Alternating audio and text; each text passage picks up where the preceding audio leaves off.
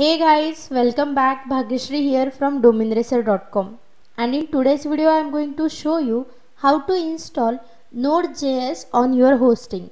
Now DomainRacer support Node.js on any hosting packages even on shared hosting. So let's see how to install Node.js. First step, log in into your account using SSH. If SSH is not enabled for your account, contact our support department and enable SSH access. Now here in PuTTY, enter your host name or server IP address. Then enter port number. Connection type is SSH and then click on open. Now here in command prompt first login. So enter your username. Hit enter button then enter password. Enter. And now type the command to install node.js all the command used in this video you will get into the description box below. So you can simply copy and paste the command.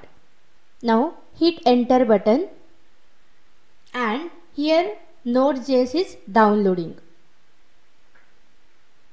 this command will download version 8.10.0. You can install the latest version from their official website. Make sure to download tar.xz extension package only. And here is our download completed. Now to extract the node.js file, enter the next command. Hit enter button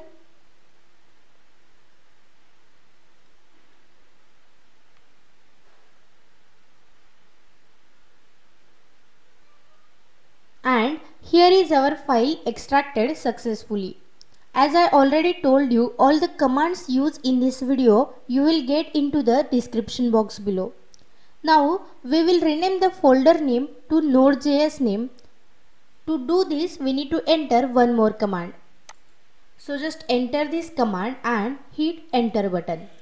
Now install node and npm binaries. To install this enter the next command hit enter button enter next command enter enter next.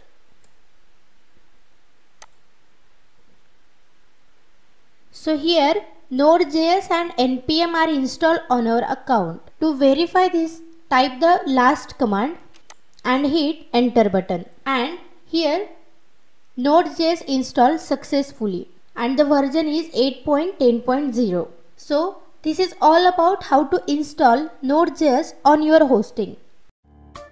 Press the bell icon on YouTube app and never miss another update.